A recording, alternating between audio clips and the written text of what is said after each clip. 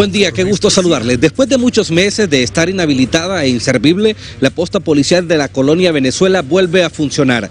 Se activó ayer por parte de la Policía Nacional y se ha enviado un número mayor a 10 de agentes preventivos para mantener el control en esta zona.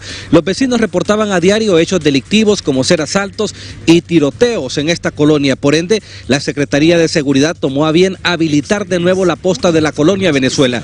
Y esta es una buena noticia porque nosotros mismos dimos a conocer la queja de los vecinos que estaba abandonada y que querían que se habilitara, pues esto ya fue una realidad. Y el día de ayer en horas de la tarde se habilitó y ya hoy amanece con agentes efectivos, un número mayor a 10 que van a mantener el control aquí en esta zona. Se va a hacer, se dijo, el acompañamiento por parte de la Policía Militar del Orden Público para trabajar en conjunto y mantener un mejor retén en este punto. Hoy van a enviar los agentes militares, ya hay más de 10 agentes de la Policía Nacional entre preventivos y fuerzas especiales. La posta ha sido pintada, la posta ha sido remodelada, la posta ha sido mejorada para que vuelva y después de no haber ningún policía y estar cerrada, hoy abre sus puertas, usted puede observar, está ya abierta al público y están aquí funcionando y trabajando los agentes, han quedado con sus instalaciones remodeladas, mejoradas y también pintadas. Así que en la colonia Venezuela ya se habilitó la posta policial, esto para que se le brinde mejor seguridad a las personas que, que habitan en este sector. Esta es la calle principal que lleva al puente donde a diario, pues